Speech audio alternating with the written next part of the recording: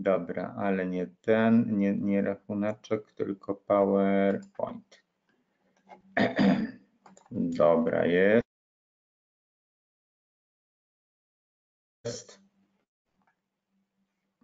Odpalmy kamerkę, żeby coś działało. Jest, jest kamera, dobra. Teraz powinieneś mnie widzieć, słyszeć i czuć. A później odpalimy e, ten. Dobra, jest, jest powinno być ok.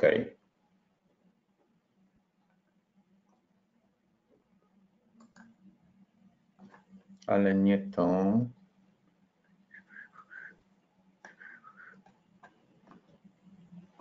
Dobra, ale teraz nie mam tego przycisku, wiesz którego? Yy, start.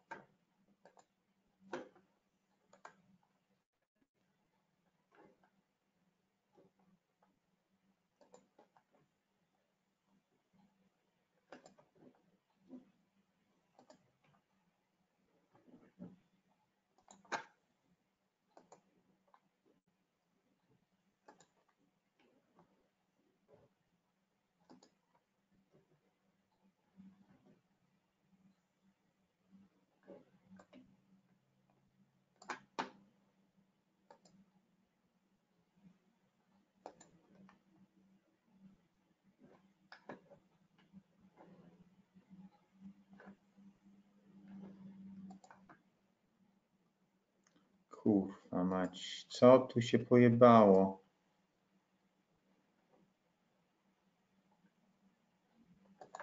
Dobra. Dobra, jest ok.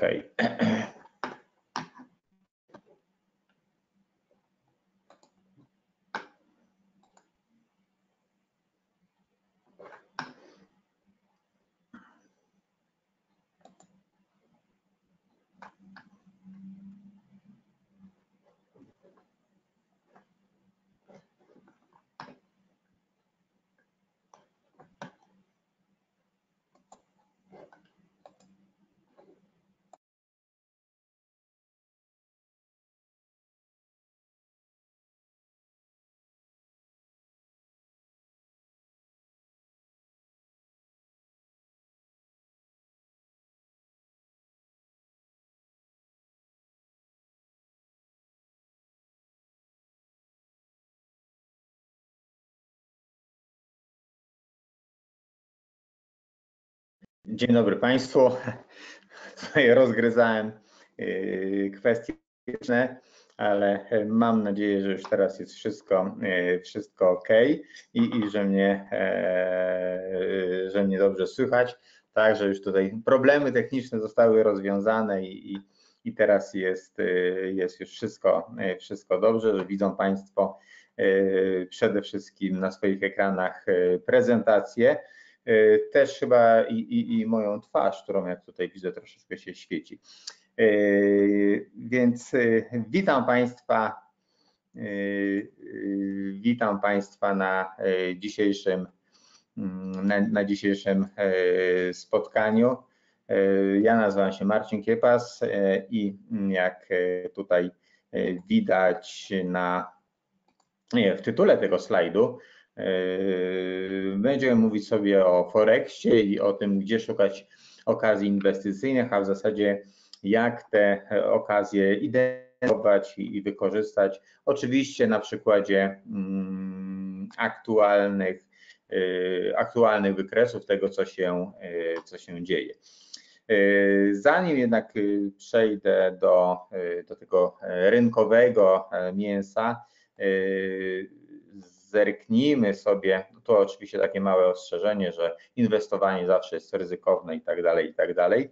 Yy, zanim jednak przejdę mm, do analizy yy, sytuacji na poszczególnych wykresach i wskazania, yy, jak, jak można daną sytuację wykorzystać, zacznijmy troszeczkę od takiej, takiej teorii, a więc zacznijmy od trzech ankiet z agencji e, Reutera, ankiet, które pokazują, tak, które pokażą Państwu, jak analitycy rynkowi, komentatorzy, ekonomiści czy, czy strategzy i, i, i też strategzy walutowi widzą e, trzy rynki. Rynek dolara, rynek funta, bo akurat to jest ciekawe i, i, i na końcu e, złotego, bo, bo akurat jest nam, e, jest nam bliski. Zacznijmy od dolara. To, co, to, co aktualnie to, co aktualnie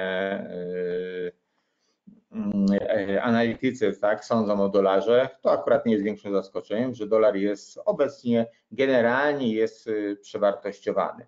E, co więcej, e, co więcej, w tej chwili, w tej chwili takim czynnikiem, który wpływa na mocnego mm, dolara, są przede wszystkim różnice w rozwoju gospodarczym po między Stanami Zjednoczonymi a resztą, bo nie tylko Europa e, tutaj silnie hamuje, mam tu na myśli Niemcy, ale też i, i, i, inne kraje, bo przecież Włochy dopiero co wyszły e, z recesji, w której były dwa kwartały i nie była to recesja techniczna, czyli kwartał do kwartału ujemnego wzrostu gospodarczego, ale była to recesja faktyczna, czyli dynamika PKB w relacji rocznej spadła, spadła poniżej spadła poniżej spadła poniżej poniżej poniżej poniżej zera. Natomiast drugim czynnikiem, który drugim czynnikiem, który wpływa na wycenę dolara są wojny handlowe, tak? Większość, większość uważa, że ryzyko związane z wojnami handlowymi, ten wzrost wzrost niepewności wywołanych preferuje dolara. Po prostu y, uczestnicy rynku uciekają z innych rynków, y, uciekają z Azji, uciekają y, z Europy, czy, czy generalnie z rynków wschodzących i wracają bądź do Stanów Zjednoczonych, bądź kupują dolara, który w tym przypadku, pomimo że prezydent Trump jest sprawcą e, zamieszania wywołanego e, wojnami e, handlowymi, więc pomimo tego pomimo tego uciekają, uciekają i, czy, czy, czy też wracają do dolara. Więc, więc zarówno wzrost gospodarczy, jak i czy, czy wyniki gospodarcze, jak i wojny handlowe to są te dwa czynniki, które decydują mm, o dolarze. No i teraz jesteśmy w takiej fazie, y, że e, coraz, że, że rosną oczekiwania na podpisanie Stanami Zjednoczonymi a Chinami takiego wstępnego porozumienia, y, nazywanego też y, porozumieniem pierwszej fazy. Niektórzy sądzą, że o ile ono będzie dość łatwe do no to schody zaczną się później, kiedy, e, kiedy te, ten, ten pierwszy arsenał takich e, pozytywnych kroków, takich gestów zostanie wyczerpany chociaż nawet jak się dziś przekonaliśmy, wcale to nie jest, y, wcale ta droga do podpisania porozumienia pierwszej fazy nie jest taka, y, taka, taka prosta i gładka, bo chińskie Ministerstwo Handlu oświadczyło, że tutaj y, te, te relacje muszą być symetryczne, tak, że zniesienia, redukcje wprowadzonych ceł też pomiędzy Chinami a Stanami Zjednoczonymi muszą być symetryczne, więc to sugeruje, że to porozumienie owszem ma szansę być podpisane. Wydaje się, że obu stronom na tym zależy, ale to raczej nie będzie listopad, jak do niedawna zakładano i na której to fali rósł między innymi, między innymi kurs euro-dolara, aczkolwiek podkreślam, to nie był też jedyny czynnik, no bo e, te też między innymi pomagał e, pomagał, pomagała kwestia Brexitu, a w zasadzie ta w zasadzie już pewność, tak, że, że nie będzie twardego Brexitu, ale trzymajmy się e, eurodolara i, i, i Chin, więc rosnące przekonanie, że w listopadzie może dojść do, do podpisania tego wstępnego porozumienia dolara e, osłabiało. W zasadzie może nawet nie osłabiało, tak, tylko po prostu rósł apetyt na ryzyko i inwestorzy wracali na rynki wschodzące. Skorzystał między innymi na tym złoty, skorzystały na tym giełdy, które przecież są, jeśli chodzi o Wall Street, na rekordowo wysokich poziomach. No i 40 analityków ankietowanych przez agencję, agencję Reutera uważa, E, że e, dolar osłabi się jeszcze o 1-2% po podpisaniu pierwszej fazy, mm, pierwszej fazy porozumienia, porozumienia między e, Stanami Zjednoczonymi a Chinami. Natomiast schody, tak jak wspominałem wcześniej, mogą zacząć się później, kiedy już ten ta pierwsza faza zostanie całkowicie zdyskontowana i analitycy będą się, czy, czy rynki będą się zastanawiały, co dalej, tak? Jak będą dalej kształtowały się y, negocjacje i przypadk, czy, czy przypadkiem, a one będą trudniejsze, i czy przypadkiem one na nowo nie wywołają eskalacji wojen, y, wojen handlowych, no bo tutaj będą różne stanowiska i różne y, i różne czynniki odgrywały pierwszorzędną rolę. Szczególnie, że jak e, przecież już od pewnego czasu płyną głosy e, Chin, e, podpisanie takiego szerokiego porozumienia z prezydentem Trumpem jest raczej wykluczone. Chińczycy wskazują, że prezydent Trump, mówiąc najogólniej, jest niestabilny i, i może być tak, że cały wysiłek negocjacyjny będzie włożony, Chiny zrobią ustępstwa, a, a w ostatniej w ostatnim momencie takie porozumienie e, zostałoby za, e, zawetowane. E, więc tak jak wspominałem, większość, większość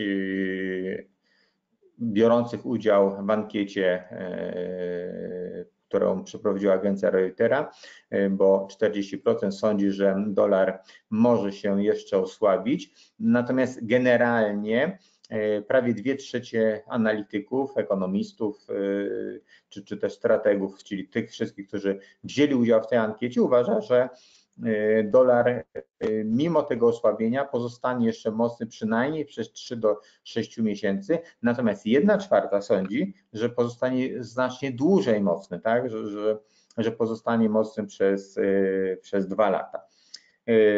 I trzeci wniosek z tej ankiety.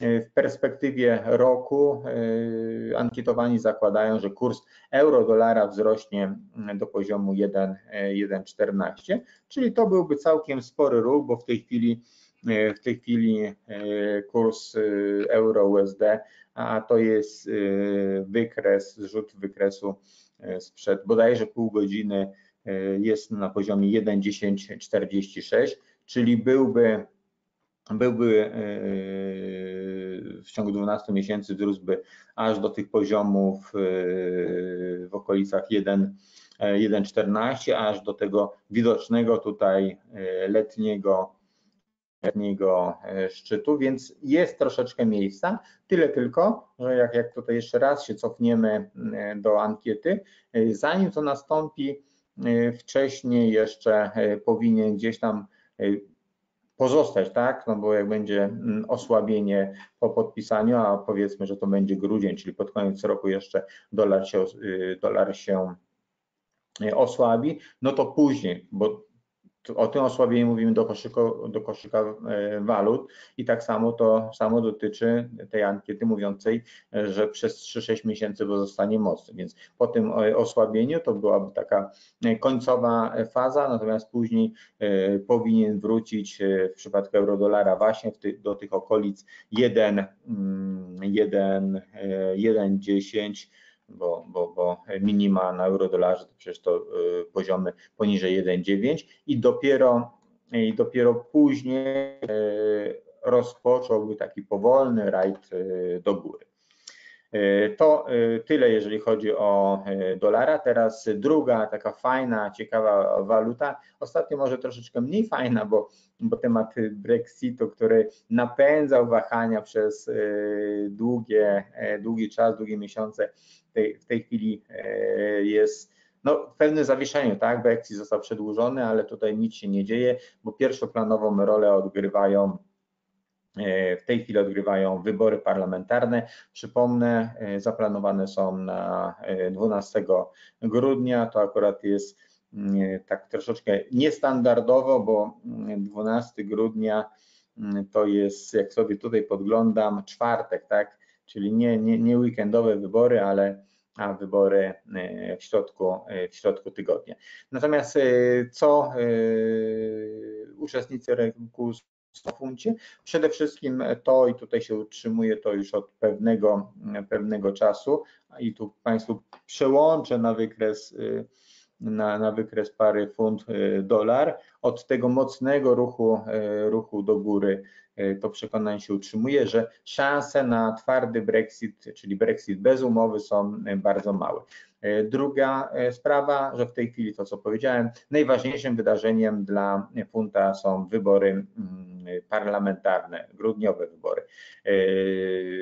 Analitycy z medialnych prognoz wynika, że funt mógłby umocni się o 3%, jeżeli wygra partia konserwatywna, partia premiera e, Johnsona. Tutaj analitycy wychodzą z założenia, że wygrana partii e, konserwatywnej mm, oznacza, że większość parlamencie będzie miał premier Johnson, więc wynegocjowane e, to, to, to nowe porozumienie z Unią w sprawie Brexitu po prostu szybko zostałoby klepnięte, doszłoby do Brexitu, doszłoby do Brexitu z umową i ten temat by zniknął.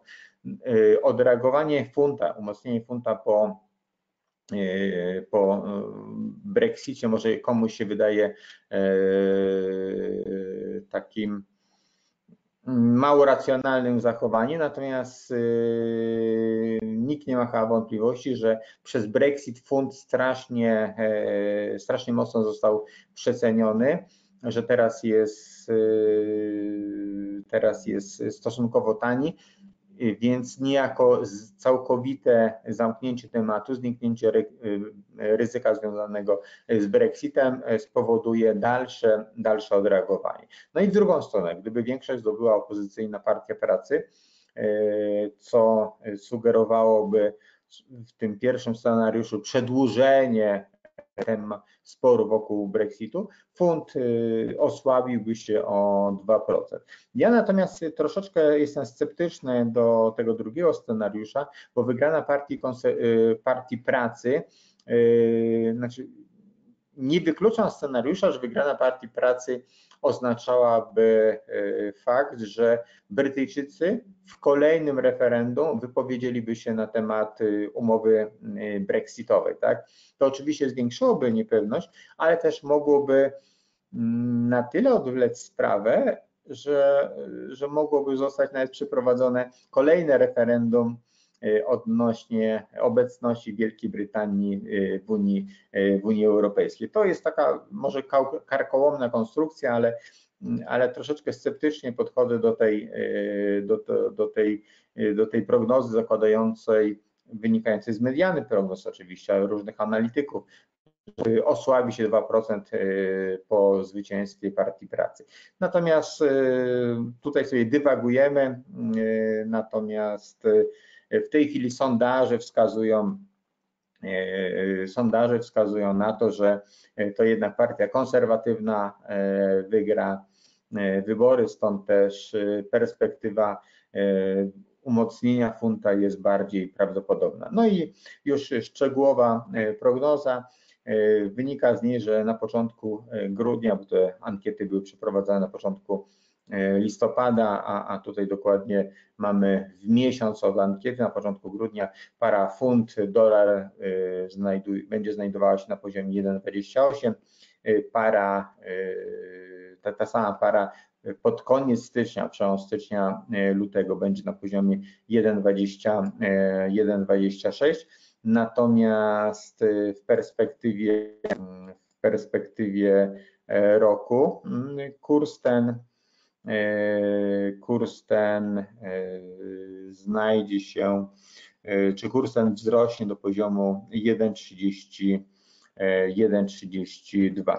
Czyli mówiąc krótko, w grudniu fund, parafund dolar pozostałby na obecnych poziomach, później byłoby cofnięcie, a później, a dopiero później w perspektywie roku dalszy ruch do góry.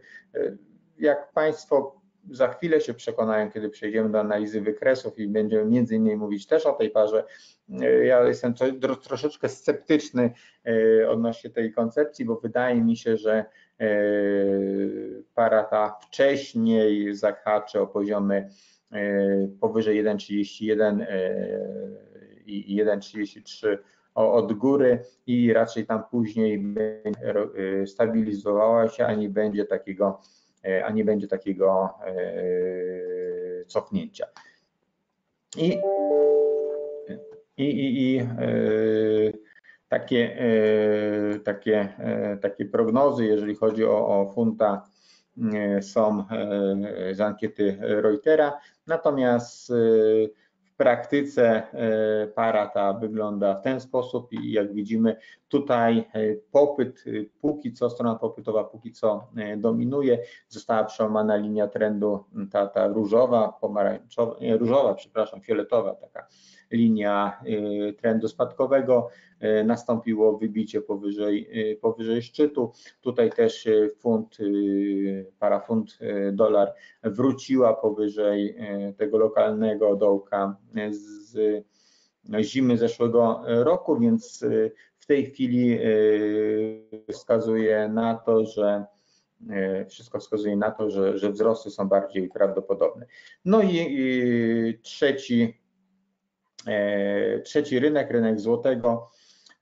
I tutaj wskazania, wskazania analityków są dość jednoznaczne, że złoty, podobnie jak wiele innych walut naszego regionu, regionu pozostanie generalnie stabilne.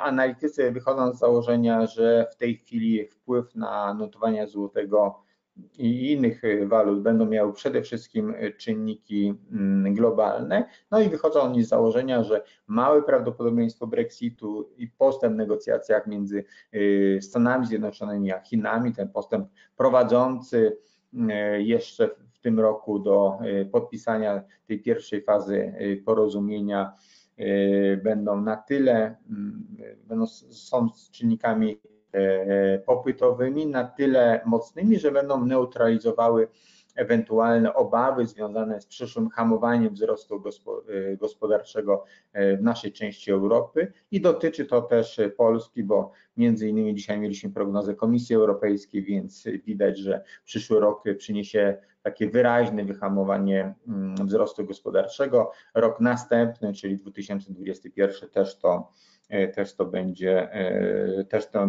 tym będzie takim hamowaniem, e, też będzie się charakteryzował, aczkolwiek do takiego mocnego spowolnienia jest daleka, daleka droga. Notabene podobny scenariusz hamowania też pokazała w środę Rada Polityki Pieniężnej, która opublikowała nową prognozy z, nowej, z nowego raportu o inflacji, gdzie została obniżona ścieżka e, wzrostu gospodarczego, więc to wszystko się e, składa razem, mówiąc brzydko, e, brzydko do kupy i, i, i, i ta wizja hamowania wzrostu jest prawdopodobna, natomiast no, nie będzie tutaj drastycznego hamowania i, i, i póki co wszystkie prognozy mówią, że w perspektywie dwóch lat wzrost gospodarczy nie spadnie nam e, poniżej 3%. Te 3% jest o tyle mm, takim istotnym e, poziomem dla wzrostu gospodarczego, że wydaje się, że mm, dla Rady Polityki Pieniężnej to jest wskazówka, czy należałoby e, się martwić o wzrost gospodarczy i zacząć i zacząć y, luzować y, politykę monetarną, tak jak to robią w tej chwili czołowe banki y, centralne.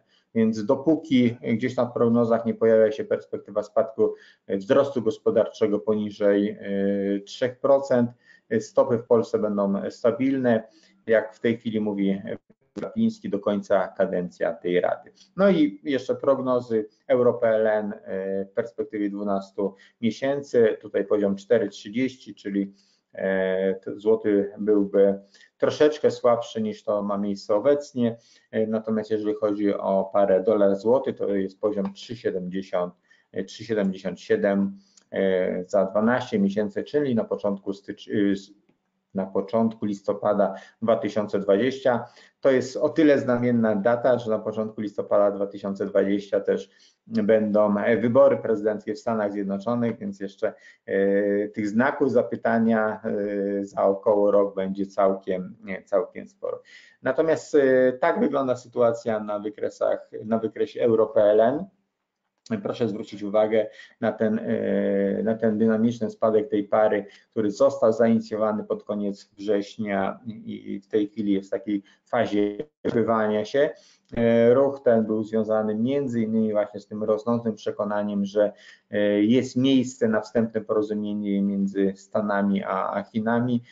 Tak jak mówiłem, dotychczas zakładano, że to będzie listopad, teraz trochę to, to troszeczkę to się przesunęło, ale e, wciąż jeszcze jest szansa, że do końca roku takie porozumienie zostanie zawarte. Dodatkowo w to wpisał się też temat Brexitu, czy raczej e, malejące obawy, wręcz e, przekreślone szanse na twardy Brexit, co też było czynnikiem wspierającym złotego. Zresztą nie tylko złotego, bo inne pary też zyskiwały.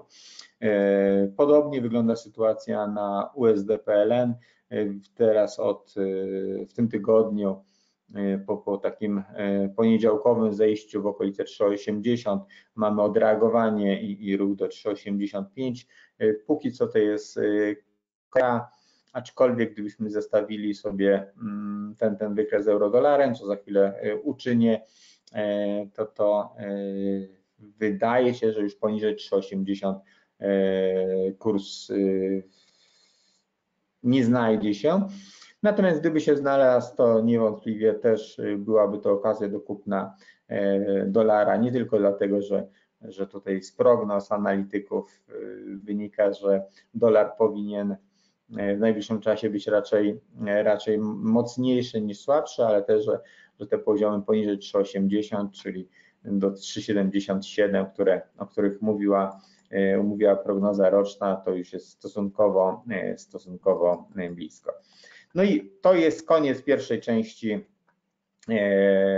pierwszej części takiej teoretycznej, która miała pokazać, miała naświetlić, jak prezentuje się, prezentują się poglądy rynkowe na, na, na te, te trzy rynki, rynek dolara, rynek funta i rynek, i rynek E, złotego. Natomiast teraz przejdźmy już do e, przejdźmy już do oceny sytuacji, wskazania tych ciekawych momentów na, na poszczególnych parach, więc przejdźmy do, mm, do, do, do sytuacji do sytuacji na, e, na, na wykresach na wykresach poszczególnych, poszczególnych par. E, na pierwszy rzut oka oczywiście, mm, na pierwszy rzut oka oczywiście pójdzie euro-dolar, tak? Tutaj przez chwilę była inna para, ale na pierwszy rzut oka pójdzie euro-dolar, euro-dolar i o to, co, e, co, co, w tej chwili, e, co w tej chwili widzimy. Krótkoterminowo mm, Krótkoterminowo mamy tutaj formację podwójnego szczytu i, i taki zwrot poniżej linii, mm, linii e, oporu poprowadzonej po szczytach, e, po szczytach e, z września 2018 i czerwca 2019. Dodatkowo mamy dodatkowo mamy podażowe sygnały, sygnały na wskaźnikach więc y, ten układ jest, wydaje się dość, y, dość wiarygodny. Y, jeżeli, jeżeli byśmy to mm, zestawili z ostatnimi, jednak lepszymi danymi z, z amerykańskiej gospodarki, danymi, które mm, mogą sugerować, że Fed być może zrobi sobie e, dłuższą przerwę w obniżkach stóp procentowych, a przypomnijmy, że póki co rynkowy konsensus zakłada jeszcze jedno cięcie w pierwszym kwartale. Natomiast e, te ostatnie dane razem z payrollsami mm, e, październikowymi E, sugerują, że, że, może to, że może nastąpić przesunięcie, czyli raczej na pewno nie będzie e, cięcia w styczniu, tylko w marcu, bo, bo w pierwszym kwartale 2020 są dwa posiedzenia. E, a być może, jeżeli pojawią się kolejne dane, jeżeli będzie porozumienie handlowe, to wstępne porozumienie, porozumienie pierwszej fazy, czyli zniknie przynajmniej w jakimś stopniu zniknie czynnik ryzyka związany z wojnami handlowymi, zwłaszcza z ich dalszą eskalacją, no to, no to moglibyśmy to, no to Fed w ogóle mógłby już nie obniżać stóp procentowych, co byłoby czynnikiem wspierającym dolara, bo póki co dolar zakłada, rynek dolara zakłada, że do takiego do takiej obniżki będzie. Dlaczego ja mówię, dlaczego ja teraz y, powiedziałem i o analizie technicznej, i o analizie fundamentalnej? No głównie dlatego, że wychodzę z założenia, że połączenie tych dwóch czynników, czyli y, fundamentów i sygnałów płynących z realnej gospodarki, z danych makro, plus y, układu sił na, na wykresach daje najlepsze, najlepsze rezultaty. Więc tutaj akurat nam się to pięknie, pięknie składa i ta formacja podwójnego szczytu ma szansę być zrealizowana, szczególnie, że jak sobie zerkniemy na ten sam wykres nieco z nieco dalszej perspektywy, no to widzimy ten tutaj fioletowy, róż, fioletowy tak, kanał, kanał spadkowy, w którym się kurs porusza, więc ten, ten ruch do góry który został zainicjowany e, w pierwszych dniach października, a fundował 21 października, to póki co jest tylko ruchem w ramach, e, ruchem w kierunku górnego, kierunku górnego ograniczenia e, tego, tego kanału, więc to też nam się, to też nam się pięknie składa i mając takie,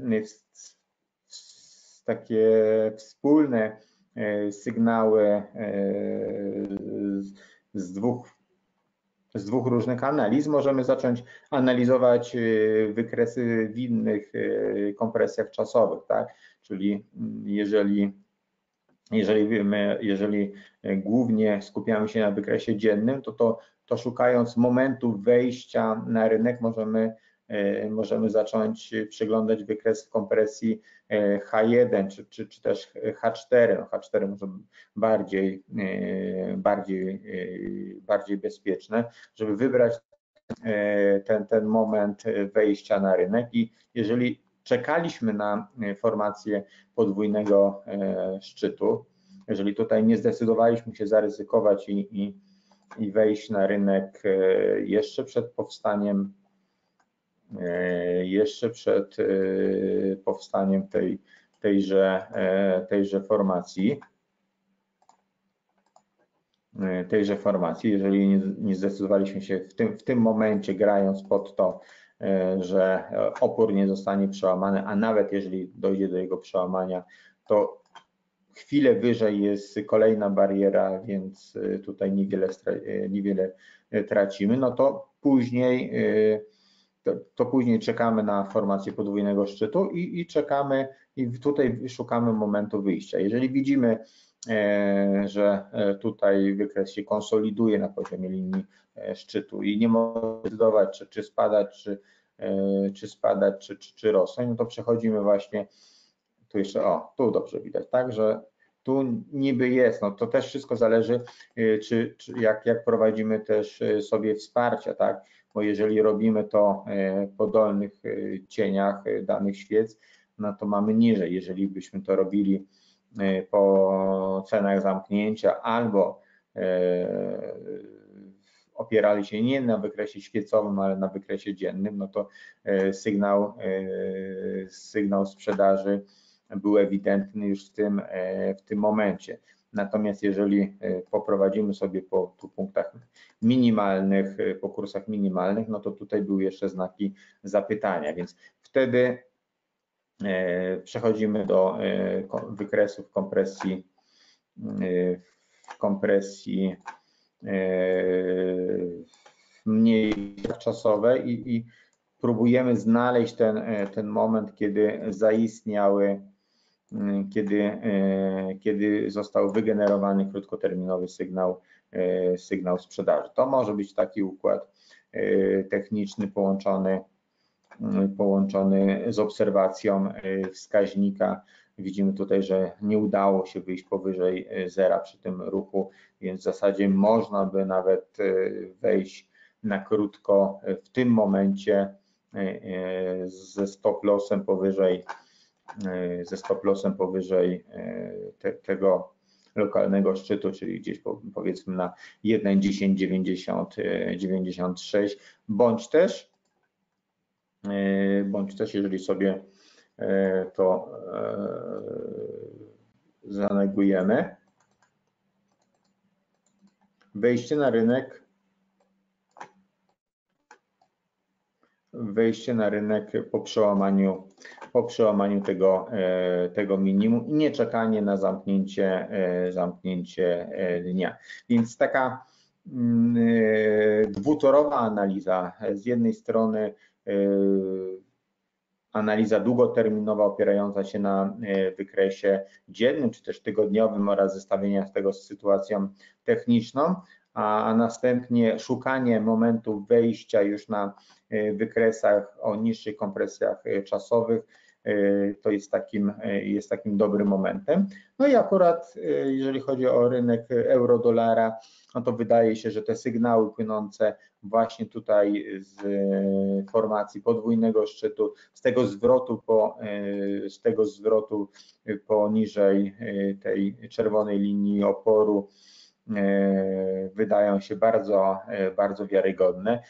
I Państwo, jeżeli byśmy wchodzili, jeżeli byśmy wchodzili na, na rynek w tym momencie, no to sprawa jest y, oczywista. Najpierw gramy, najpierw gramy pod utworzenie formacji podwójnego szczytu, czyli, e, czyli przesuwamy zlecenia stop loss w miarę schodzenia niżej i dobieramy mm, i dobieramy pozycję lub też dobierałem pozycję, jednocześnie jeszcze bardziej obniżając zlecenia stop loss w momencie, kiedy e, ten, ta formacja podażowa została, e, została utworzona. Natomiast jeżeli wchodzimy, jeżeli wchodzilibyśmy e, tutaj wczoraj, tak, kiedy podwójny szczyt został wygenerowany, no to ustawiamy się ze zleceniami stop loss na na poziomie pierwszych, pierwszych oporów. W tym przypadku jest to na wykresie dziennym. Jest to połowa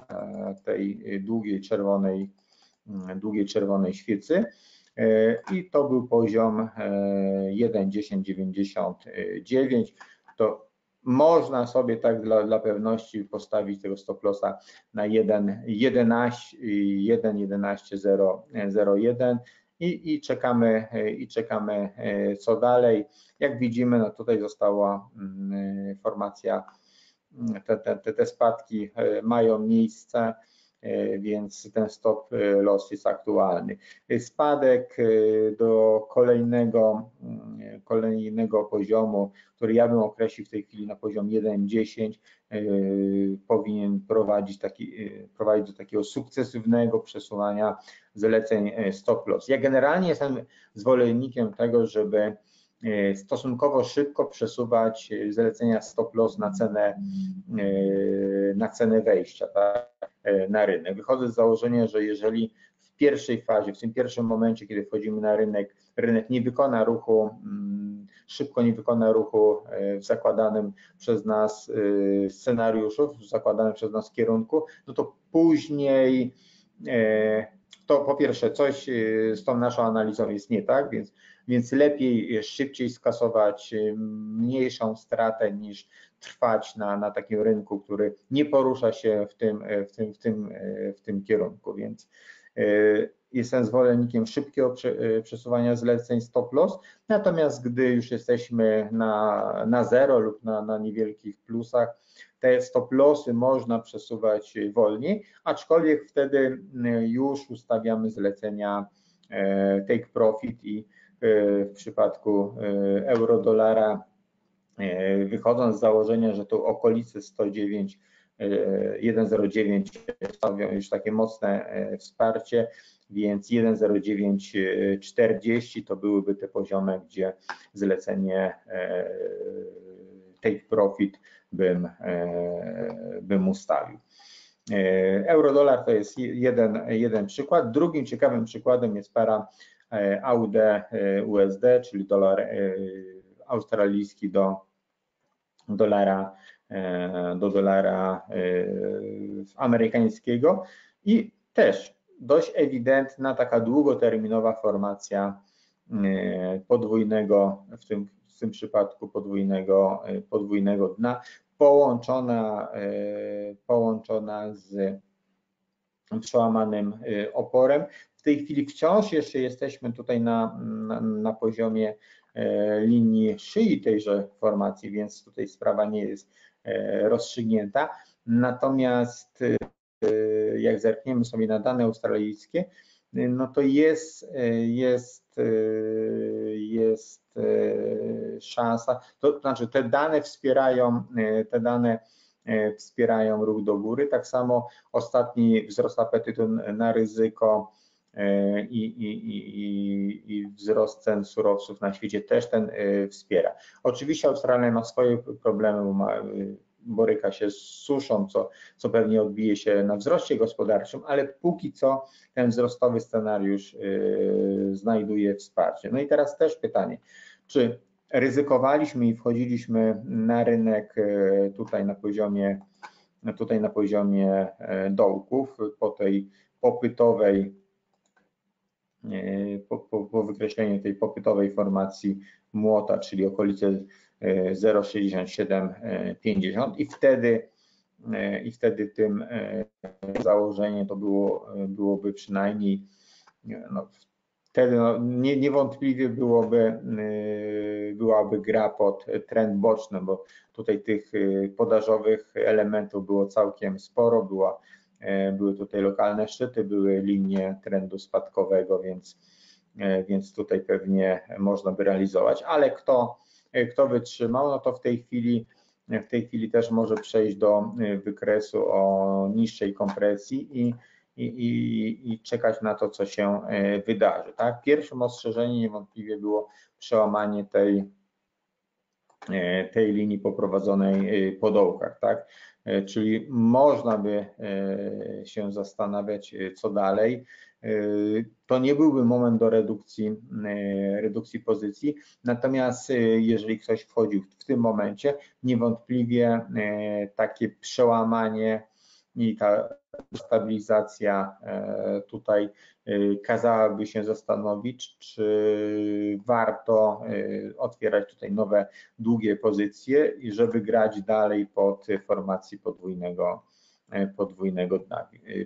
Więc tutaj E, jest taki moment do zastanowienia, ale tylko z uwagi na te pozycje, które otwieraliśmy tutaj, bo jeżeli wchodzimy na rynek e, w tym momencie, no to po pierwsze na wykresie na wykresie dziennym mamy ewidentne e, sygnały, sygnały kupna, no i tutaj trzymamy. I teraz na wykresie o mniejszej kompresji wyznaczamy sobie miejsce, gdzie powinniśmy ustawić zlecenia, zlecenia stop loss. No póki co był taki moment dość ciekawy w tym momencie, bo, bo tutaj wyjście z tego takiego spadkowego kanału powodowało, mm, co się chwilowe, tak, ale tutaj, tutaj prawdopodobnie należałoby Y, jak ktoś ma stosuje bliskie stop lossy, tutaj należałoby y, je ustawić i pewnie bylibyśmy wywaleni z rynku. Więc przy tym moim podejściu y, z wąskimi stop lossami szybko przesuwanymi w górę, prawdopodobnie tu zostałbym wywalony, mówiąc brzydko.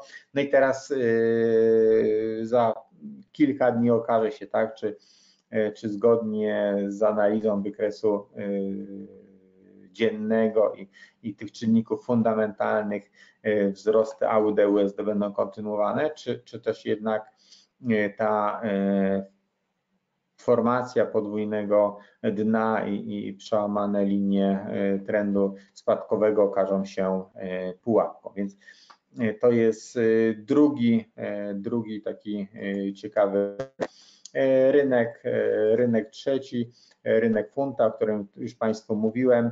Ja abstrahując od tamtych prognoz analityków, wychodzę z założenia, że funt jest przewartościowany, jest niedowartościowany, że został mocno przeceniony przez Brexit i zniknięcie tematu Brexitu będzie go wspierać.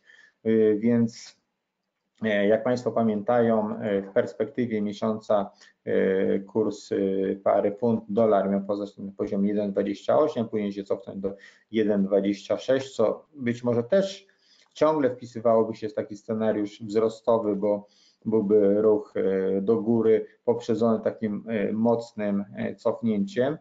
Natomiast wydaje mi się, że już te poziomy E, że już te poziomy e, w tej chwili są atrakcyjne e, do kupna, tak? Mieliśmy, mm, mieliśmy przełamaną przełamaną linię Bessy, teraz mamy taki ruch powrotny, korektę i te poziomy, na jakich jest funt na jaki jest fund obecnie, e, są poziomami atrakcyjnymi do, e, do jego kupna i to też e, wpisuje się w tą analizę fundamentalną, analizę, która mówi, że partia konserwatywna wygrywa wybory, że porozumienie jest klepnięte i fund będzie zyskiwał na wartości. Natomiast jeżeli chodzi o stop lossy, no to przy takim ostrożniejszym podejściu to te zlecenia stop loss no też możemy odmierzyć sobie, tak, jeżeli zakładamy ruch do 1,31, e, no to niewątpliwie stop lossy muszą być węższe, jeżeli zakładamy ruch do powyżej 1,33, no to można po, e, pokusić się nawet o stop lossa poniżej 1,27,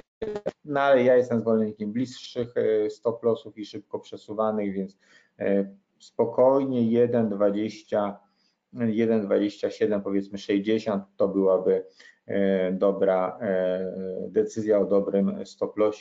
E, wychodzę oczywiście tutaj z założenia, że wsparcie na, mm, z 25 czerwca na, na poziomie 1,2783 powstrzyma, powstrzyma tą korektę i, i ruch nastąpi E, nastąpi do góry. Więc podsumowując, bo już trzeci kwadrans e, się kończy i pewnie Państwo są, e, są znudzeni, w, szukając, szukając okazji inwestycyjnych na rynku Forex, polecałbym najpierw znajdowanie ewidentnych sytuacji na wykresach, tak?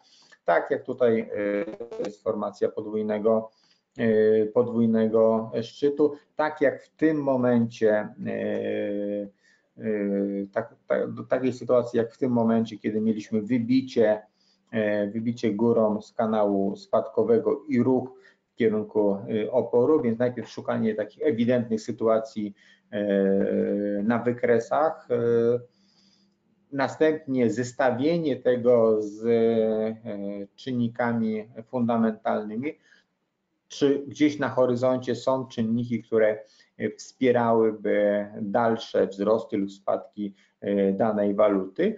I na trzecim miejscu przejście do wykresów o niższej kompresji niż normalnie e, analizujemy, tak? Jeżeli tutaj mamy rynek euro-dolara i wykres dzienny, no to przejście na, na wykres H4 czy, czy H1, natomiast już nie niżej, tak? Bo, bo szukanie momentu wejścia 15-minutowym, kiedy e, to, ta podstawowa analiza płynie z wykresu e, dziennego, no to mija się z celem, ale na wykresach o niższej kompresji e, czasowej znajdowanie już bezpośrednich, bezpośrednich momentów wejścia i wyjścia na rynek, czy też nawet do ustawienia zleceń stop loss, jeżeli to nie jest stop loss punktowy i, i automatycznie przenoszony wraz ze spadkiem o taką samą ilość punktów, wraz ze spadkiem lub wzrostem danej pary. Jeżeli natomiast chodzi o stop lossy, yy, to yy, taką dobrą strategią jest stosunkowo blisko ustawione zlecenia stop loss i szybko przesuwane do tego poziomu wejścia. Wynika to z faktu, że E, że w moim założeniu, e, jeżeli e, dana pozycja od samego początku nie wyrabia się tak, jeżeli dany kurs danej pary nie zachowuje się tak, jak jak sobie założyliśmy, no to później szanse na to, że, że pójdzie w tym samym kierunku. Oczywiście są takie szanse, ale że, że, że zachowa się tak, jak sobie założyliśmy, jak wydedukowaliśmy, są już znacznie mniejsze. No i po prostu to też sugeruje, kiedy rynek nie idzie od razu tam, gdzie tego oczekiwaliśmy, że coś z tą naszą analizą jest nie tak, tak, że trzeba jeszcze raz przemyśleć, więc lepiej, szybciej realizować mniejszą stratę niż, niż ustawić sobie odległego stop lossa i, i modlenie się o to, żeby rynek poszedł w danym kierunku. No i tym, tym, tym sposobem tym sposobem kończymy tak to, to, to nasze to nasze dzisiejsze to nasze dzisiejsze spotkanie. Ja już Państwu dziękuję za uwagę. No i zapraszam zapraszam na, na kolejny, tak? Dziękuję bardzo. Do usłyszenia. Zapraszam do zaglądania na naszego tikmilowego Facebooka i, i do czytania bloga. To już dziś wszystko. Dziękuję i do widzenia.